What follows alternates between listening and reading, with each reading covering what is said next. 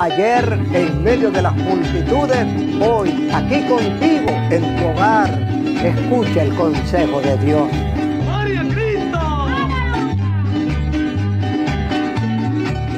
En Mateo 28, versículo 18 al 20, Jesucristo dijo, id y haced discípulos a todas las naciones. El Señor quiere que nosotros disipulemos a toda la tierra. No es solamente a tu familia, a tus vecinos, a tu barrio, a tu pueblo, a tu ciudad, a tu estado, a tu país. No, Él quiere que disipules a toda la tierra. ¿Cómo puedo hacerlo? Por medio de la radio, por medio del internet, por medio de los portales, por medio de las redes sociales. Disipular a toda la tierra.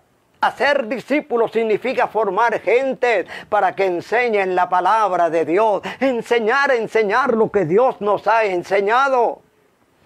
Pablo discipuló y sigue discipulando a través de las Sagradas Escrituras, de las 17 epístolas que aparecen en la Biblia.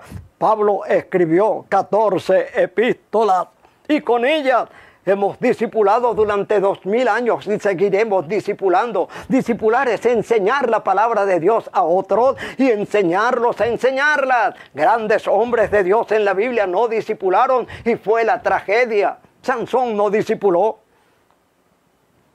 El gran profeta Samuel no discipuló. Job fue un santo, no discipuló ni siquiera a sus hijos. La casa le cayó encima y los discipuló y los aplastó a todos. Pero nuestro hermano Pablo fue un gran discipulador. Jesucristo discipuló a 12 hombres. ¿A quién está discipulando usted?